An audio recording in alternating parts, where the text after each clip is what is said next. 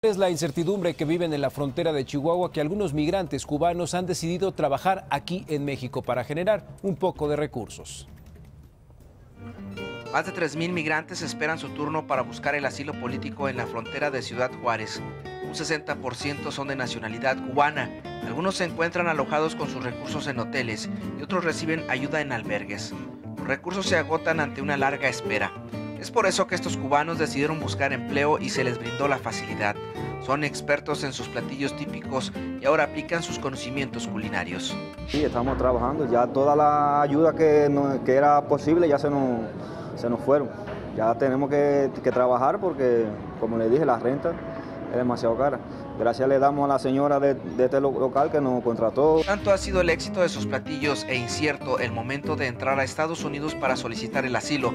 Y ahora ya piensan en abrir su propio negocio en esta ciudad fronteriza. Bueno, acá ofrecemos el fricasé de cerdo o cerdo guisado, como le dicen acá, en salsa de tomate, sin chile, el con gris, que es el arroz tradicional o moros y cristianos, como se conoce internacionalmente, arroz amarillo, cerdo en salsa de tomate, chuleta de cerdo a la plancha, pollo frito y pescado en algunas ocasiones.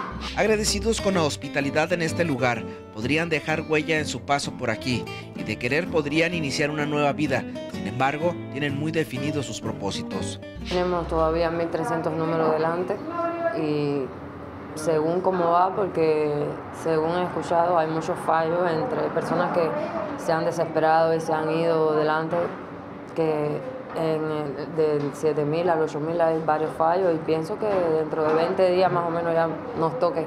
La demás población cubana y de otra nacionalidad no han logrado trabajar en empresas locales de manera temporal, a pesar de la gran demanda de mano de obra, ya que no cuentan con un permiso de trabajo, solo su visa humanitaria para transitar por el país.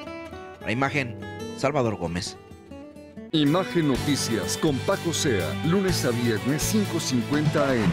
Participa en Imagen Televisión.